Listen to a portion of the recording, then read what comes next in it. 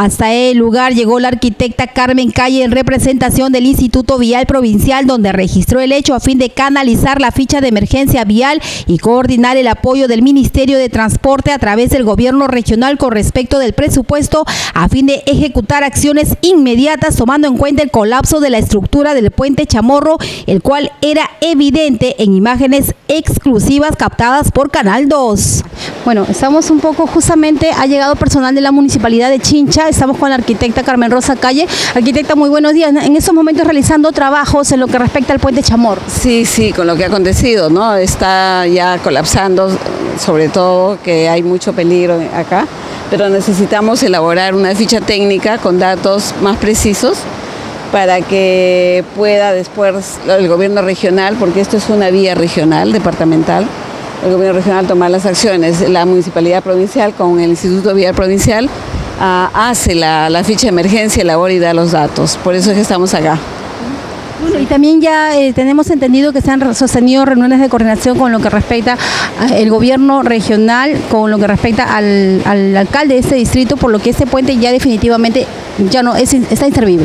Bueno, justamente el mismo jefe de obras del, del distrito del Carmen, el ingeniero Quincho, es quien tiene que elaborar todo el antecedente, la historial de esto, cuándo fue construido eh, y ya pues definitivamente todo tiene su, plazo, su término, ¿no? Ya es lo suficiente el tiempo que ya transcurrió y que ya necesita definitivamente renovarse este puente. Y lo más importante para nosotros es que este puente era de una sola vía, cuando la demanda es de dos vías. Eh, todos los, los, puntos de encuentro a este puente es dos vías, entonces definitivamente ya era un riesgo en cuanto a tránsito. Ahora como para como puente sí necesita definitivamente cambiarse, ¿no? Por el tiempo de, uso que ya tiene.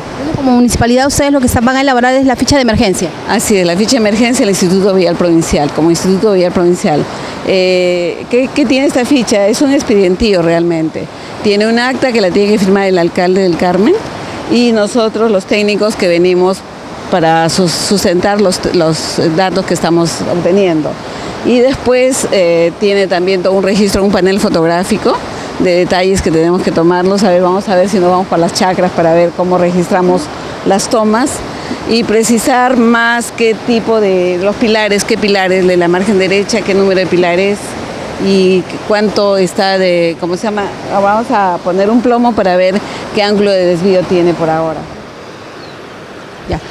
Bien amigos, bueno, estamos aquí justamente en una de las márgenes, la margen derecha eh, de ese río, en donde si ustedes pueden observar al fondo las cámaras acompañan, mire usted ya colapsó una de las bloquetas eh, que le da sustento pues a este, a este puente. Y si ustedes se dan cuenta del puente, también el puente tiene pues esa inclinación en el lado donde ya esa bloqueta está colapsando definitivamente de colapsar eso en algunas eh, horas seguramente o en algunos instantes ese puente seguramente va a ceder y eh, ya ha llegado personal de la municipalidad, personal que está realizando los trabajos, defensa civil, los trabajos necesarios para que eh, eso se pueda realizar de manera rápida y se pueda realizar ya eh, la construcción del nuevo puente que ya trascendió que va a ser doble vía, ¿no?